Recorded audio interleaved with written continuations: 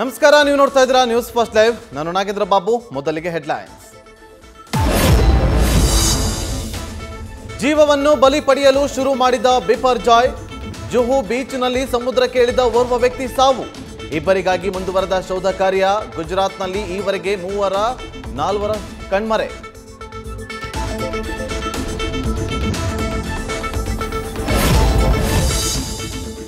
ಮಂಗಳೂರಿನ ಕರಾವಳಿ ಭಾಗದಲ್ಲಿ ಕಡಲ ತೀರದ ಜನರಿಗೆ ಮತ್ತೆ ಕಡಲ ಕೊರತದ ಭೀತಿ. ಮುಂಜಾಗ್ರತೆಯಾಗಿ ಕಡಲ ತಡಿಯಲ್ಲಿ ಸ್ಯಾಂಡ್ ಬ್ಯಾಗ್ ಬಳಕೆ, ಇನ್ನೂರಕ್ಕೂ ಹೆಚ್ಚು ಬ್ಯಾಗ್ ಬಳಸಿ ತಾತ್ಕಾಲಿಕ ರಕ್ಷಣಾ ವ್ಯೂಹ.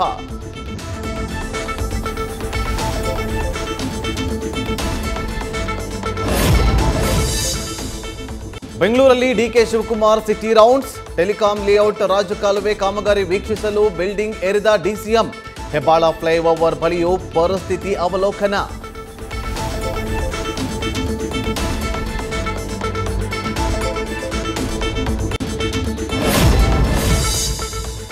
ಪೆಟ್ರೋಲ್ ಟ್ಯಾಂಕರ್ ಪಲ್ಟಿ ನಾಲ್ವರು ಸಜೀವ ದಹನ ಪುಣೆ ಮುಂಬೈ ರಾಷ್ಟ್ರೀಯ ಹೆದ್ದಾರಿಯ ಲೋನಾವಾಲಾ ಮೇಲ್ಸೇತುವೆ ಮೇಲೆ ತೈಲ ಟ್ಯಾಂಕರ್ಗೆ ಬೆಂಕಿ ಘಟನೆಯಲ್ಲಿ ನಾಲ್ವರು ಸಾವು ಮೂವರಿಗೆ ಗಾಯ ಸಂಚಾರ ಅಸ್ತವ್ಯಸ್ತ